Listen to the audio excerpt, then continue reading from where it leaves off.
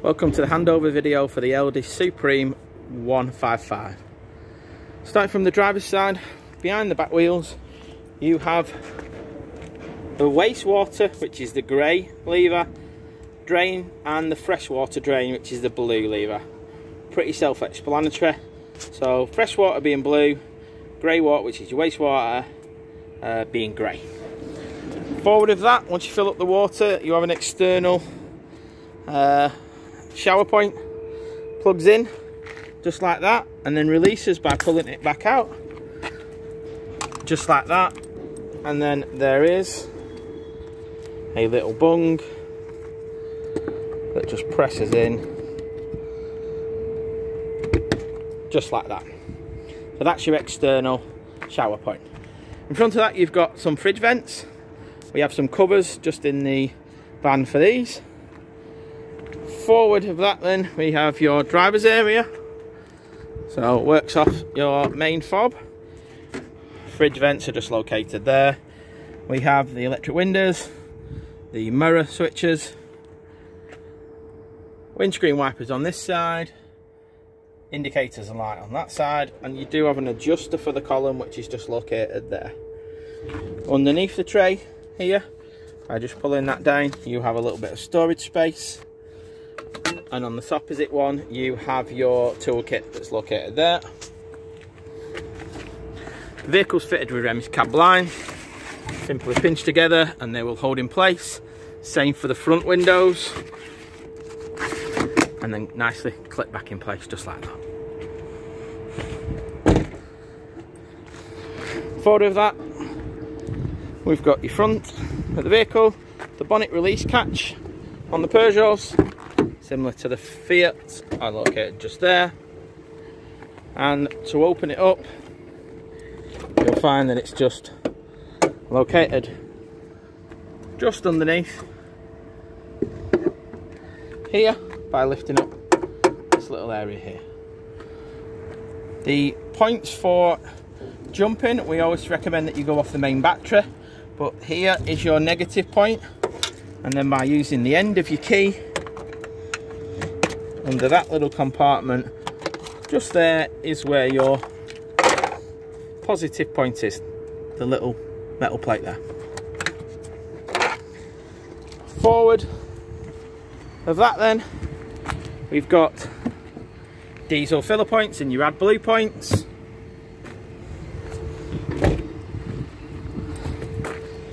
Gas or refillable systems which were an extra on this particular one Simply open up the bottles by twisting each bottle and this selects the bottle that you want by the little uh, notch in the dial there.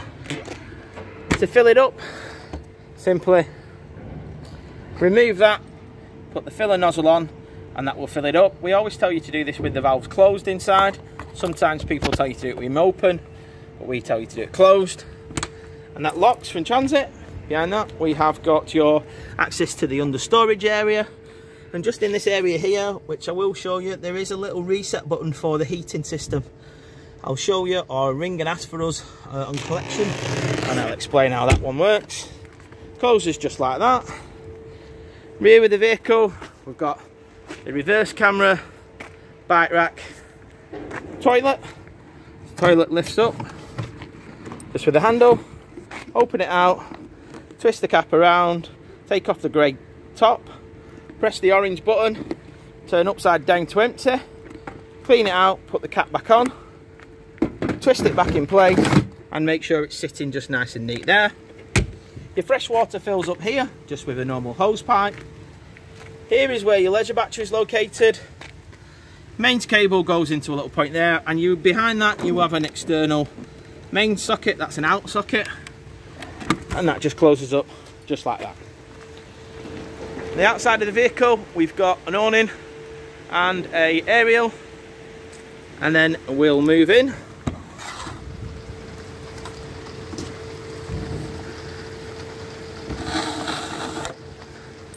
to the vehicle itself.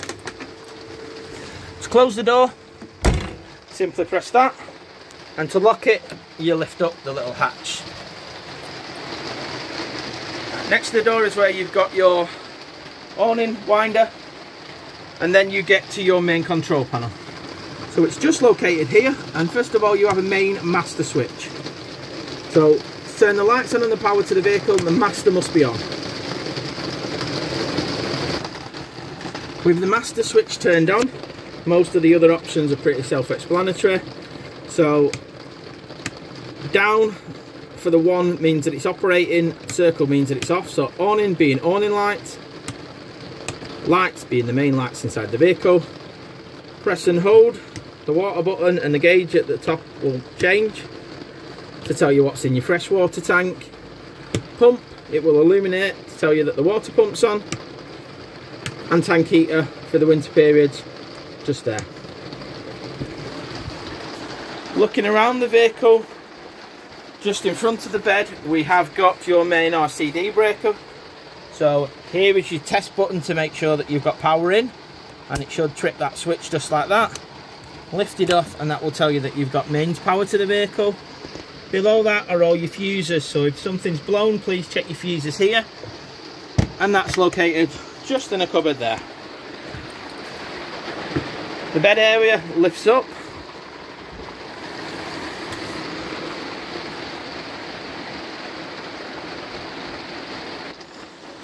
Under here, the customer has chosen to add a few extras, but you have your pump located at the back and the internals to where the battery is located. Plenty of storage, again making sure that you're careful storing things around the electrical area and the pump area. And then that simply just pulls down when you're not using it. The cupboards above are a simple pull down on the little handle which operates a little fitting behind and you'll hear a click when it's in place. Plenty of storage around the bedroom area. You have also got storage and light switches just underneath the back bed area. Customers added a TV and that's fitted just there. It will swing round and locate and you have a spare main socket just located in the corner. Through into the bathroom area. With the toilet in place you have a flush button which is a blue button there and an indicator to tell you when the toilet is full. You must make sure that the blade valve, that's the valve inside the toilet there, is closed when you're trying to pull it out. You close it by sliding the valve to the left to close it and the right to open it. When it's full, you'll have a little red indicator that tells you just there that it's full. The sink unit, remember turn the tap to the side, push that in, press the button in. The fittings in storage area are just like that. And you've got your little plug for the sink area there. Make sure that they're pressed in place before travelling. Again, you've got your toothbrush holder there, toilet roll holder there, and your shower screen is located just here. And then that slides down just by releasing both the, the fitting at the top and the bottom and then magnetizes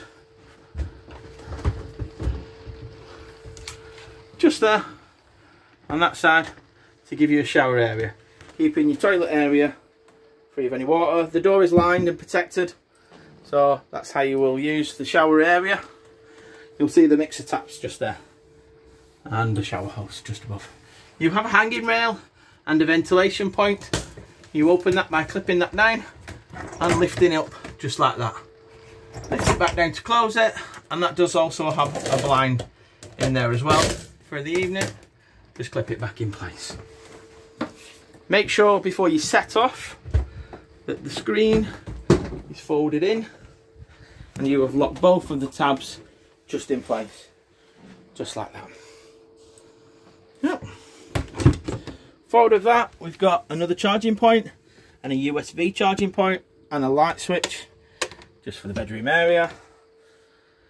Oven, we've got three gas, one electric. They're all located just on the side there and they just ignite just by turning the gas on and the igniter is just at the front of the unit here. Grill wise is operated just on this side. Have a couple of different positions An oven Just on this side is a separate oven unit and that's located just below there. Below that in the cupboard underneath, again the push button is you've got your gas isolation points. There is also one in the underbed area. They're all in a usable position as they are at the moment, so please leave them in place unless told by a professional to change that position. To the left of that we've got some storage areas. Again the one thing that you're making sure of here is that when you're setting off on your journey that you press your button in. So it wants to be on your checklist that all them buttons before setting off are pressed in. Make sure that your glass lid's down but let the cool, let the rings cool down first of all. And again above, same idea. Make sure that they're all pressed in. So cup holders and plate holders that come in standard. Sink plug's just located there and your power for your microwave. Microwave is just located here and this will only work on mains electric. So please make sure that you're on mains electric otherwise this will not work. Forward of that in the overcab you've got your solar uh, regulator. Nothing you really need to do with here. There's a little box that it comes with and more storage in front of that. Storage just around the front and an opening roof light with a blind in there and pull it further you've got your flat screen. Again to the left hand side we've got more storage. Again on the passenger side. And just here is where your Peugeot pack is and the black box with all the instructions. Heating wise the heating and the hot water is controlled from here. So once you've filled up your fresh water tank you'll come to this little well uh, display here. The bottom button here tells you when it's off. So both the hot water and the heating is off at this point. Press it again, it gives you a one line. That's one kilowatt electric for your heating. Two kilowatt electric for your heating. Three kilowatt electric for your heating. Gas only. Gas and two kilowatt electric as your option. So decide which one you want and then just leave it in place. If you want to change the temperature, then you can move the temperature up or down with the down button, making it warmer or cooler. Yeah. Want to turn it off? Just turn it to off. Your water works the same way, so press it to 1 kilowatt electric, 2 kilowatt electric, gas only, gas of 1 kilowatt, gas and 2 kilowatt. Or off if you've not got anything in it. Please don't run your hot water with no water in the system. Once you've uh, primed the system through, which you do once you've filled up your fresh water tank, by coming over to the tap in both the kitchen and the shower areas. Turn your tap over and then turn your tap to the red side. Allow it to, to flow with the pump turned on until you get a steady stream of water. You'll have air coming out initially, spitting and spurting, and that's just pulling the air through the actual Whale boiler system. Once you've got a steady stream, then go to your heating system, select your water heater, and let it heat up. This can take between 20 and 30 minutes to do that. When you're emptying it down, there is a frost uh, valve on there to drain it down, or you can simply run the pump to do that. Windows are all pretty much the same on the Elddis. Slide that back in place there. And they pull down and hook. Pull down and hook. And to open them, lift up the stays. Just like that. Wind it out and then turn the little screw. Just to hold the window open. Yeah. Release the screw that allows you open to window and then tighten it and then pull, pull it tight just like that when you're moving off they're exactly the same on the windows in both of the living areas and in the back areas. The roof lights all have a flash screen and a blind located on them and to open them you simply pull the handle down and slide it forward. Yeah. Pull the handle down to pull it back and that will ventilate it. The front one Works even simpler by releasing the catches on either side and then lifting the bar and pushing it up. Pull it back down make sure it locks in place and that the catches clip in place. This one simply winds to open it. The bed configuration. So in the lounge area, you can have it just like that. Or alternatively, I'll show you the option with the sheet. First option being to make up the bed area. So simply slide the two compartments together. And then simply fold the cushions down to make a large second bed. For your travelling uh, companions, then I'll show you how to do that. So, simply lift up the bed area like so. On either side you'll see there's little clips here which you just lift up and then on either side we'll fold it in just like that. And then lastly you have the options just like that underneath the grey covers for your travelling passengers. Just behind here you have a drain valve as well for the heating system just to drain it down make sure that that is in the position that it is now to drain it and another isolation valve. That's for the heater forward. From that we've got your fridge. So it's a selected fridge. So in the position that it's at now it's off. Next position along is electric. The next position along is fed from your vehicle battery. So this only works when the engine's running. Our last option is gas. To get your gas you need to come to this side. Press in the button and press in the igniter. And you should see the little orange symbol. Move across into the green as it's doing at the moment. Once it's done that release the buttons and it will stay there and let you know that the gas is on for the fridge. So simply turn it back to electric. You will just flick that and you will see that that indicator has moved back to the white area. There is a light to tell you that it's on and you have a separate freezer compartment to turn it off turn it back to the top and that turns off your unit. The wardrobe area simply just opens on the magnets and your freestanding table is just located here. The aerial is located just up here and underneath the unit you have a little slide valve to turn it off and on. When the red light's on that's telling you've got power to your aerial. That will allow you then to tune in your TV. This will need tuning in in the areas that you're at. Back of that we have got your dividing area. That screens off. Bedroom area from the living area.